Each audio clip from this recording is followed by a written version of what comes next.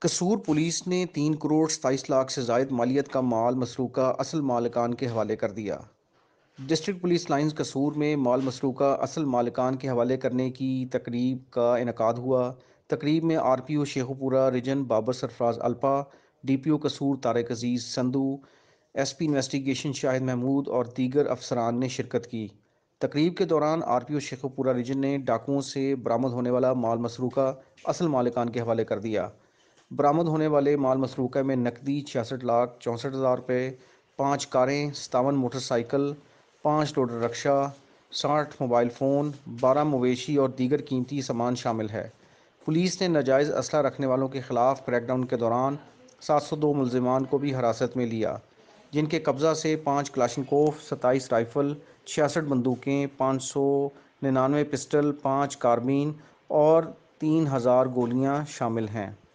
چھینی گئی رقم اور دیگر سامان واپس ملنے پر شہریوں نے خوشی کا اظہار کیا اور پولیس کو خراج تحسین پیش کیا۔ اس موقع پر آر پی او شیخوپورہ نے اچھی کارکردگی کا مظاہرہ کرنے والے پولیس افسران اور اہلکاروں میں انعامات بھی تقسیم کیے۔ خطاب کرتے ہوئے ان کا کہنا تھا کہ آئی جی پنجاب کی خصوصی ہدایت پر پولیس عوام کی خدمت کے لیے دن رات کوشاں ہے۔ شہریوں کی جان و مال کی حفاظت کی خاطر ہمارے شہدا کا خون گواہ ہے۔ ہم ہر سطح پر ڈٹ کر مقابلہ کرنے والے ہیں۔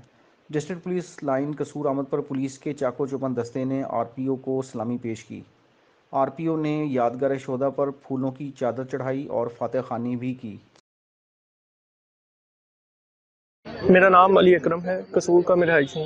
کچھ عرصہ پہلے میری گاڑی قصور سے چوری ہو گئی تھی جو کہ پنجاب پولیس نے اور قصور پولیس نے بڑی محنت کے ساتھ گاڑی مجھے واپس دلوا دی ہے۔ میں پنجاب پولیس کا قصور پولیس کا مشکور ہوں۔ میرا نام عباس علی ہے۔ کچھ عرصہ پہلے میری موٹر سائیکل چوری ہو گئی تھی۔ میں بڑا پریشان تھا، کافی بچوں کو پیدل اسکول لے کے جاتا تھا، لے کے آتا تھا، بڑا پریشان تھا۔ میں نے ایف آئی آر درج کروائی۔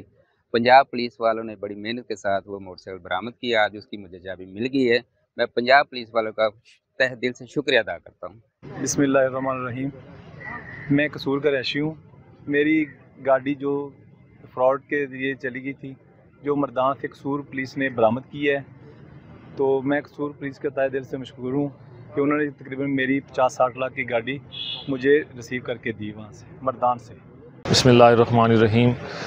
گزشتہ چند ماہ میں قصور میں ہونے والی وارداتوں میں ملوث متعدد گینگ کو گرفتار کرنے کے بعد آج قصور پولیس تین کروڑ ستائیس لاکھ مالیت کا سامان اپنے شہریوں کو لوٹا رہی ہے۔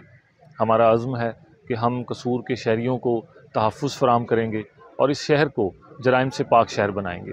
آج کا یہ دن، آج کی یہ تقریب ایک ٹرانسپیرنسی کے عمل کا حصہ بھی ہے کہ جو بھی مال چور ڈاکوؤں سے برآمد ہو، وہ نہایتی شفاف انداز کے ساتھ قصور کے شہریوں کو پبلکلی ان کے موجودگی میں یہاں پر ان کو دیا جائے اور یہاں پر سب لوگ موجود ہیں جن کو ان کی موٹر سائیکل، ان کی گاڑیاں، ان کے زیور، ان کا کیش ان کے چھینے گئے موبائل وہ مل رہے ہیں اور شہریوں کو ہم یہ یقین دلاتے ہیں کہ ان شاء اللہ تعالی ہم آنے والے وقت میں بھی شہر قصور کو جرائم سے پاک بنائیں گے انشاءاللہ۔